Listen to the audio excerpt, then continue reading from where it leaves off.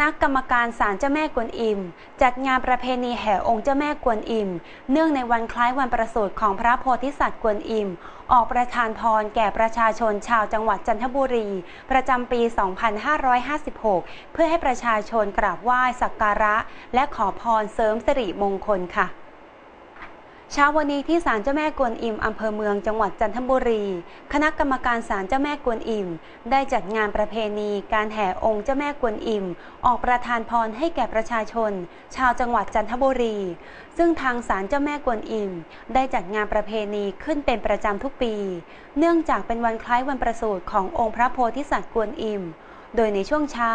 ได้มีการแห่องค์เจ้าแม่กวนอิม ไปตามเส้นทางรอบๆ เทศบาลตำบลจันทนิมิตร ซึ่งมีประชาชนชาวไทยเชื้อสายจีน ออกมาร่วมกราบไหว้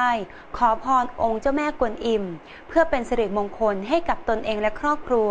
ให้อยู่กันอย่างร่มเย็นเป็นสุขตลอดทั้งปีด้วย ส่วนในช่วงเวลา 16 นาฬิกา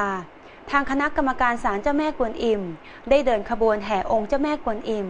ออกไปทางฝั่งเทศบาลเมือง รอบๆตลาดสด เพื่อให้ชาวจันทบุรี ได้ชื่นชมพระบารมีขององค์พระโพธิสัตว์กวนอิมด้วย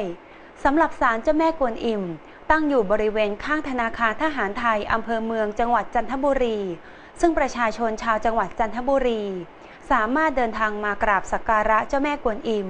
เพื่อความเป็นสิริมงคลแก่ตนเอง ครอบครัว รวมทั้งหน้าที่การงาน ให้เจริญรุ่งเรือง และก้าวหน้ามากยิ่งขึ้นตามความเชื่อที่มีมาเป็นเวลาอันยาวนาน